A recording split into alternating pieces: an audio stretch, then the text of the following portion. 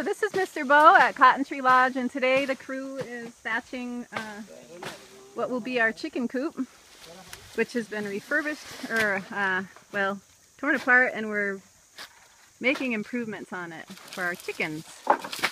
So, Mr. Bo, would you like to tell us more about how you're doing it? Yes, this is the way that how we tie it. Um, one side is 2-2 and it have a joint in, and then this going like 15 row Mhm. and it will take 175 cohune kuhundis. And this will last for four years because it is it is in an open area. There is no shade. And it will last for four years. And if this is the way how we cut our own tattoos also and it's cool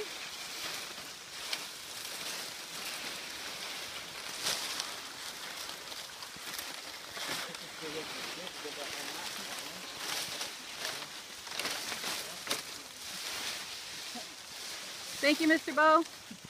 Welcome, mom.